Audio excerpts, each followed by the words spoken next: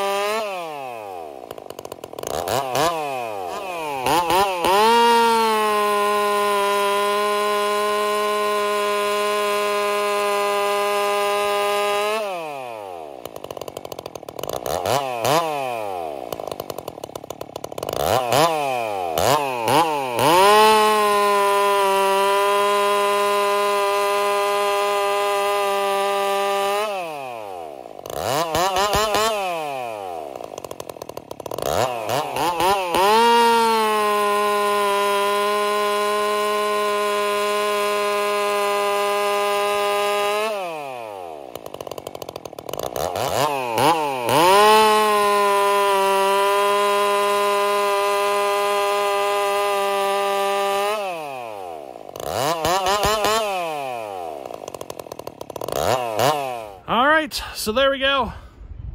She does all right. Um, so there was actually one other cutting session before this.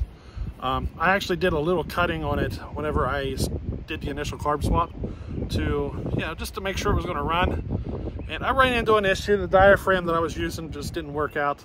So I put a different diaphragm in it and it, you know, it was running fine. But it, the saw ran fine. It ran better than this, I think.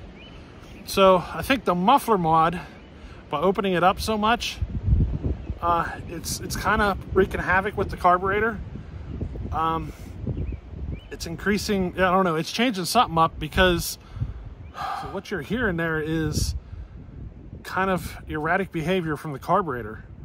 So I have to run the low side a bit on the rich side and the high side is almost completely shut off uh, just to get it to run like this.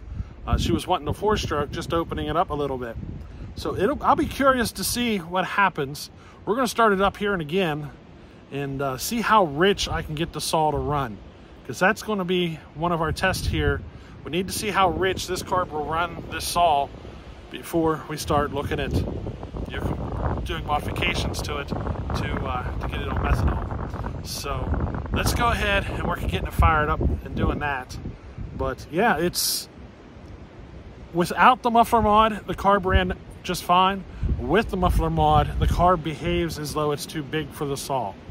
So yeah, I mean, that's kind of funny or kind of weird how that's behaving, but it is. Uh, so I'll be curious to see how this develops. This carburetor actually might be the better choice for switching to methanol. I hope it's not super windy on your end because it is windy as heck out here for me. But, but anyway, let's fire this all up and see how rich we can get her to run. See if it'll go to the point of shutting off. If it will, then we might go for methanol straight away without doing any carburetor mods. Um, we'll see. Let's, let's see what happens though. we we want to see if it'll get to the point of shutting the saw off. Let's see what happens.